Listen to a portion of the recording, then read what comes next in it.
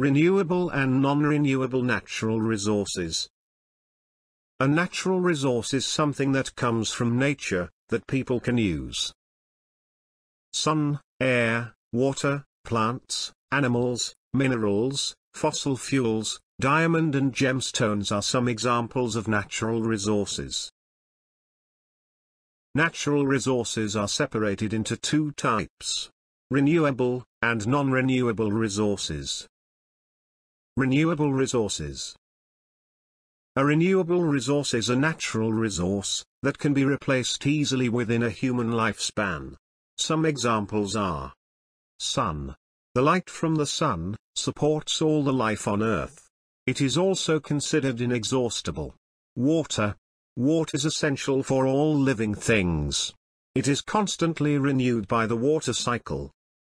Wind. Wind is caused by the uneven heating of the earth. It is not only renewable but also inexhaustible. Plants. Plants are renewable resources.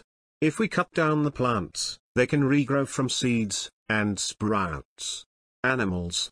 Animals are renewable resources. Baby animals are born, and grow up. They replace older animals that die. Soil. Soil is the thin layer of material, covering the Earth's surface. It is made up of organic materials, air, water and living organisms.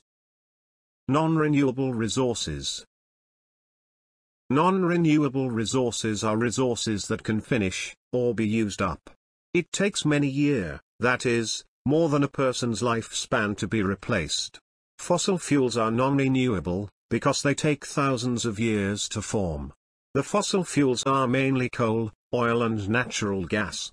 Minerals are also non-renewable natural resources. It takes a very long time for the minerals to be formed. Diamonds, and gemstones takes thousands of years to form.